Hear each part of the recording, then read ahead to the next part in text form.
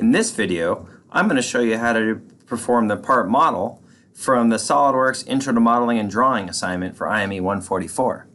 If you look, here's the model we're going to create.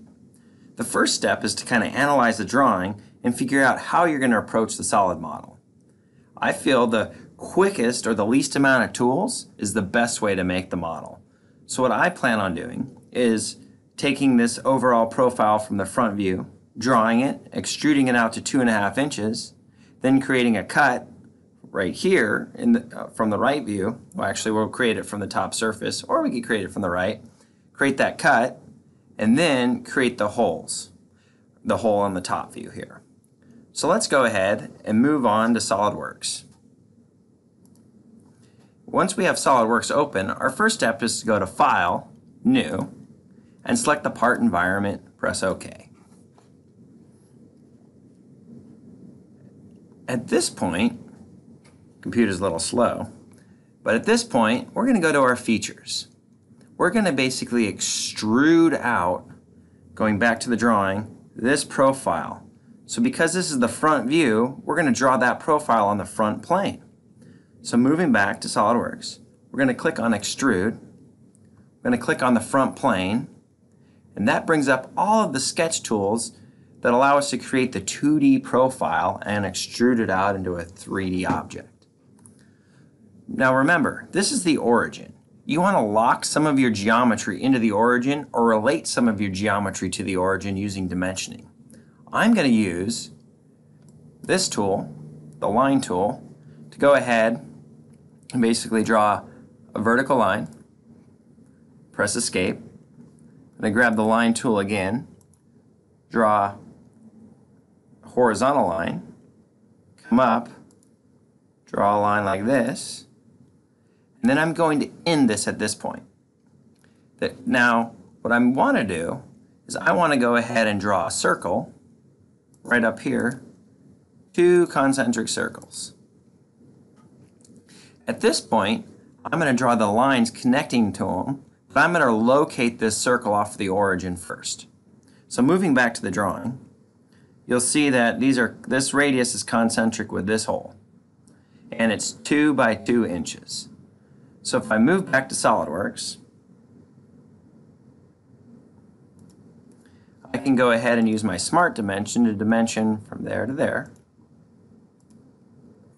2.0. Then I can go from this edge to that edge, 2.0. At this point, we want we've given the locations for the two circles. We now want to go ahead and do the size. So to do the size, I'm going to go back to the drawing. You'll see the radius is 1.25, so two and a half diameter. And the through hole right here, there's two of them at one inch through.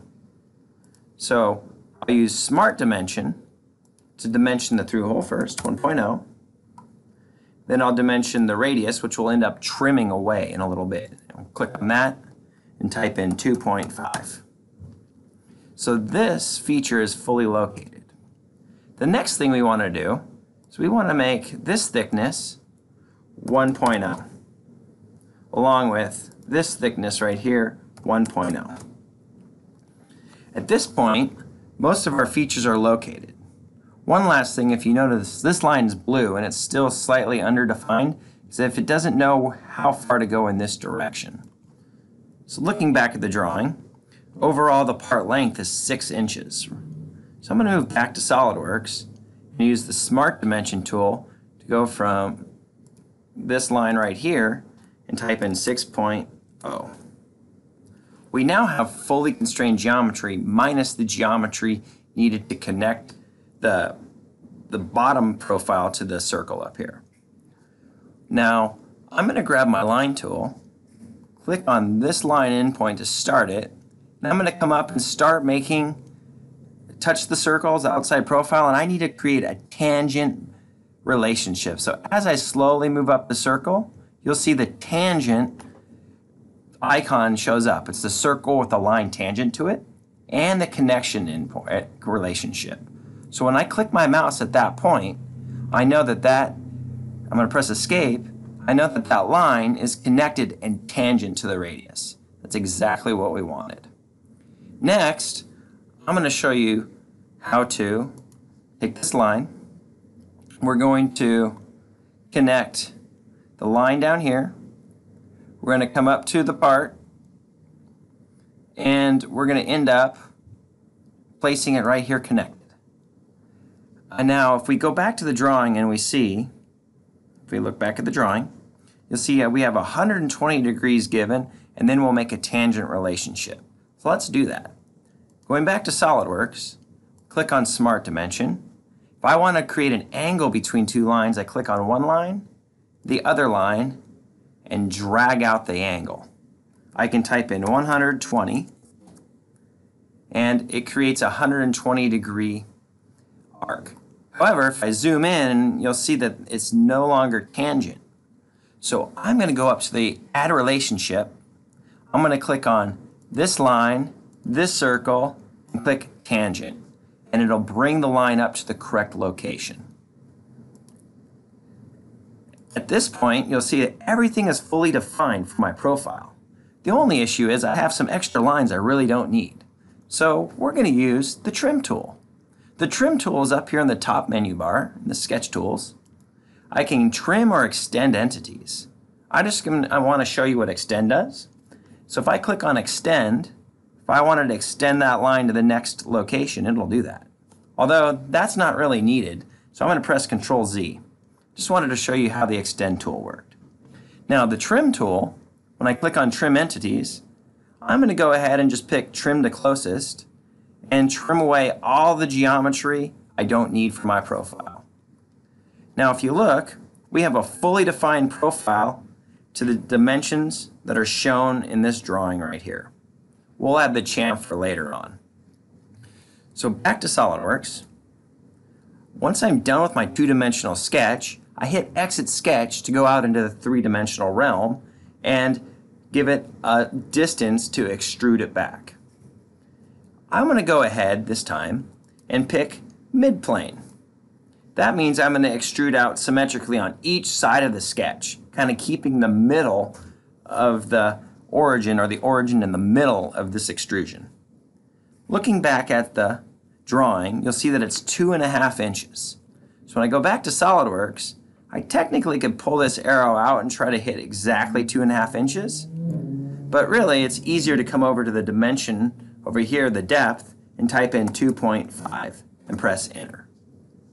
In order to accept this feature, I'm going to go ahead and hit the check mark. Now notice, I was able to create a cutout with an actual hole in it because I had two closed profiles. So the outside closed profile created all the material, the inner closed profile created a cutout. Now, looking at this part, if I move back to SOLIDWORKS, you're going to see I have to go ahead and create the cutout here. Now this could be done multiple ways. I think the easiest way is to do a cutout on the back surface. I could also do a cutout from the top surface and cut up. But again, the easiest way would be to come from one of the, the back side or the sides, the right or the left side of the part. So moving back to SOLIDWORKS, I could cut on this face or I could cut on this face. I'm going to go ahead and pick this back face. So what I first do is I select extruded cut. I go ahead and I click on this left face. In order to get the view normal to my vision or to my sketch, I'm going to hit spacebar and normal to. Now I'm drawing on this back plane of the part. What I'll end up doing is I'll pick a, uh, basically a corner rectangle. I'll start the corner of the rectangle right on the line and drag it up. Notice I'm dragging it higher than what, what I need than the actual extruded material. That's fair game. As long as the, the profile cuts a little bit of material, you can cut air as well. Now, I'm going to use my Smart Dimension tool to dimension from this edge to the rectangle's edge and type in 0.875 enter. The next feature I need, or the next dimension I need to place is this dimension, which defines how thick, thick each one of these protrusions will be. So I'm going to click from this edge to this edge, drag up and drag out, and type in 0.875. Now notice, I still have an undefined sketch right here. If I press escape, I can drag this up and down because the height isn't defined by a smart dimension. But it really doesn't need to be in this case, as long as it goes fully, as long as it's fully above the material. If it's down here, you're going to leave some material above the rectangle. So I'm just going to drag it back up and hit exit sketch. At this point, I'm going to rotate around to show you the, the model. And I'm going to go ahead and select through all. It's going to cut everything that's, that's basically wherever there's material, all the way through the model. So when I hit check mark, we have our, our cutout defined.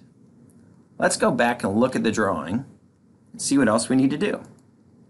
So looking at the drawing, you'll see we need to go ahead and create a couple more features. We need to create the radii on the part.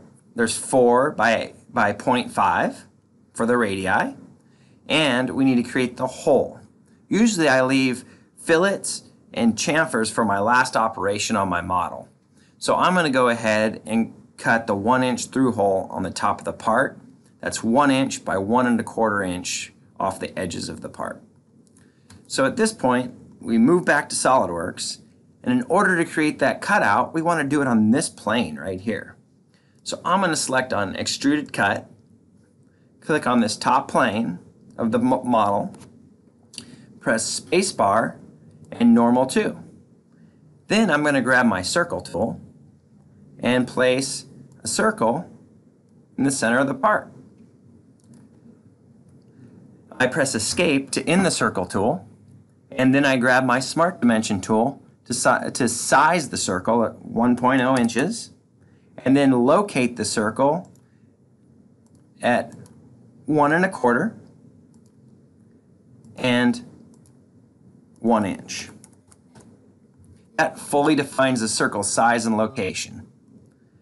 At this point, now that I'm done drawing everything I need in my sketch, I'm going to click on Exit Sketch rotate the part just to kind of show you, and just go up to next, which will cut up to the next surface, and hit check mark. Now you'll see I've created three features over here.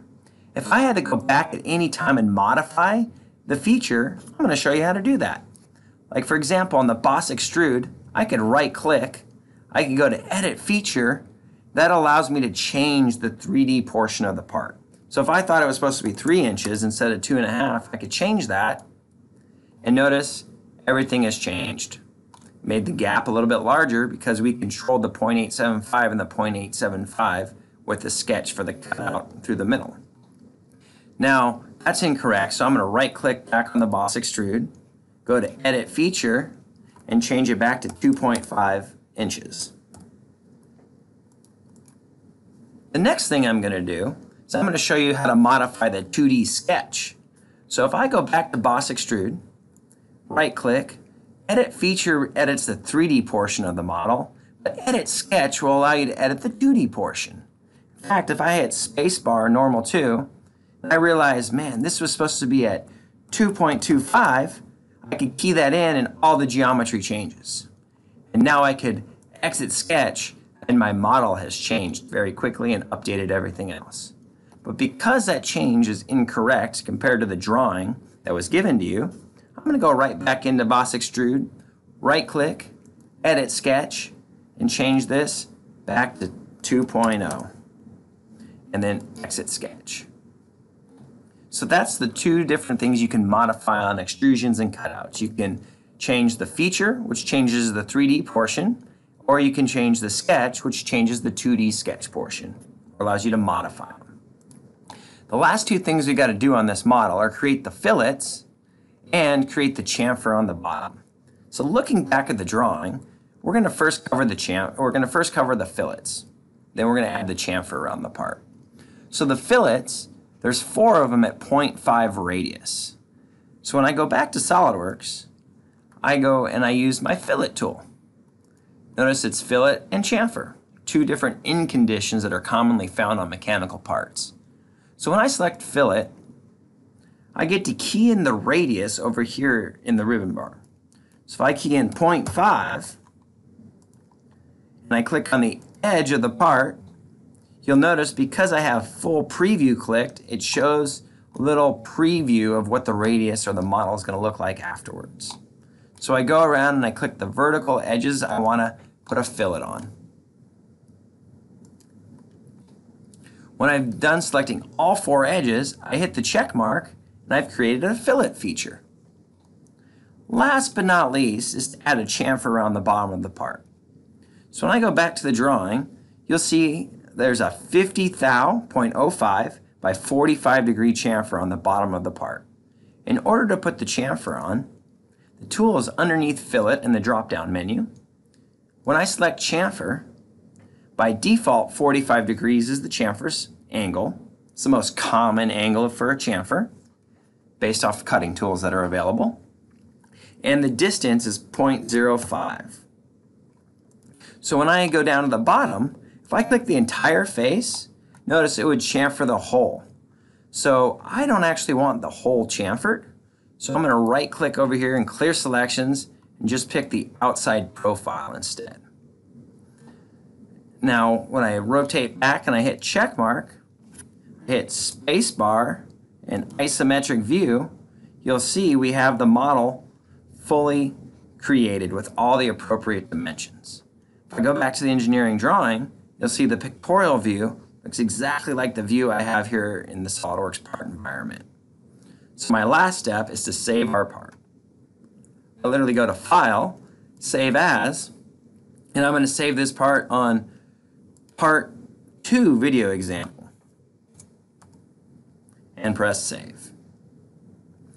Now join me in the next video to create the engineering drawing for this assignment. See you soon, or talk to you soon.